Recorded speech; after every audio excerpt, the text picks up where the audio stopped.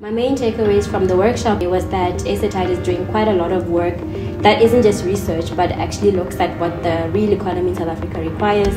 Infrastructure is a big part of that, and there's been, I think, for a very long time, a lack of um, precise knowledge around what is actually required, where are we going to get funding from, and it's starting to feel like we're really making our way towards there.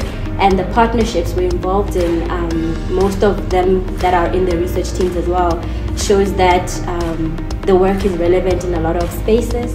And then in actually coming together like this, we're able to hopefully influence uh, policy in a very real way with very real research and evidence. It was a fascinating discussion between various experts. I'm of course from the climate science community and here the SA-TIED workshops I often interact with um, some of the foremost economists and economic modelers in South Africa.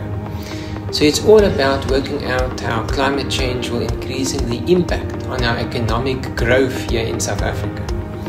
We of course will in South Africa like in many parts of the world increasingly face the impacts of extreme weather events, more frequent droughts, more frequent flooding in the eastern parts of the country specifically, more frequent heat waves impacting on agriculture, on the cattle industry, also directly on our health as humans.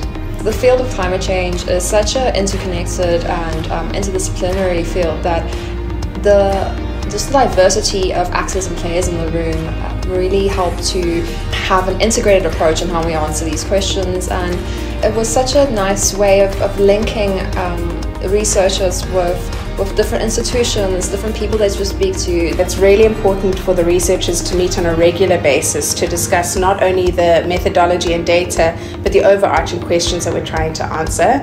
As SA-TIED, we're also working across different uh, areas in water, energy, and food. Uh, so these regular meetings gives an opportunity to give updates, to talk about the issues, and to really explore what's happening in the research as a collective group. Coming together as different teams to discuss what we're all busy with in our respective research teams reminds us that the complexities means we're always connected. And workshops like this are a good reminder of what are my outputs feeding into another research.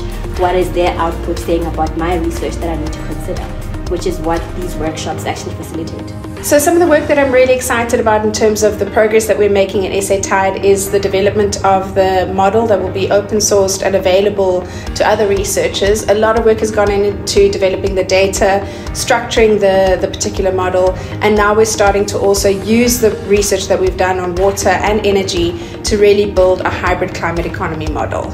Some of the new researchers coming on board into the workstream um, with this wave is regarding the water, food and energy nexus. So we have work from the University of Mpumalanga who looks at localized communities. Um, we have work from researchers in um, the Netherlands, um, along with partners in South Africa who are looking into the legal and um, institutional frameworks required to mobilize local um, community finance water sources as well as research looking into most vulnerable municipalities in South Africa regarding the energy transition, as well as how climate change influences some of the productivity in, in different as, uh, different sectors in South Africa. So some really interesting research coming out from this new uh, wave.